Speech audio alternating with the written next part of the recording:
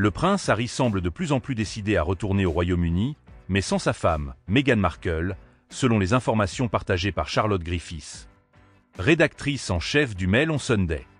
Alors que le duc de Sussex manifeste une volonté croissante de renouer des liens avec son pays d'origine, notamment pour se rapprocher de la mémoire de sa mère.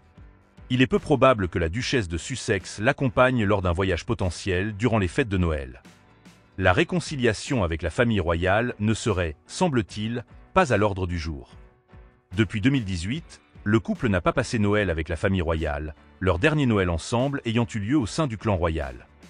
L'année suivante, ils avaient célébré les fêtes au Canada avant de s'installer définitivement aux États-Unis. Aujourd'hui, alors que le prince Harry souhaite vraisemblablement multiplier ses séjours au Royaume-Uni, Meghan Markle serait moins encline à renouer des relations avec la famille royale. Notamment avec le prince William et Kate Middleton. Il semblerait que les ponts soient définitivement coupés. Charlotte Griffiths a partagé son analyse de la situation sur GB News, suggérant qu'Harry pourrait venir au Royaume-Uni de plus en plus souvent dans les mois à venir. Elle n'exclut pas qu'il décide de passer Noël seul au Royaume-Uni, sans Meghan.